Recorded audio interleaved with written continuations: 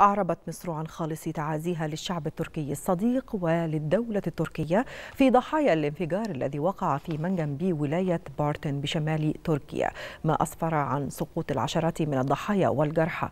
وفي بيان لوزارة الخارجية أعربت مصر عن خالص التعازي لأسر ضحايا هذا الحادث الأليم متمنية الشفاء العاجل للمصابين.